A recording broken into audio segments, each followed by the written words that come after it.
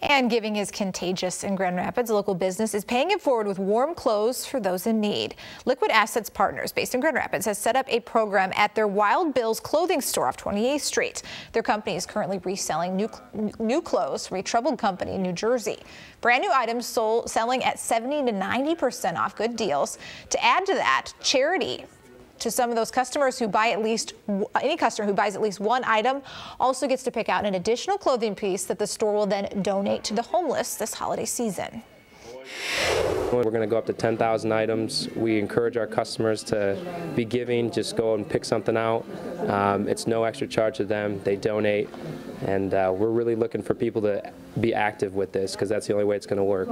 And you can be one of those people. You can help out by heading to the Wild Bill store at 28th and Kalamazoo. The donation window has been extended until November 30th.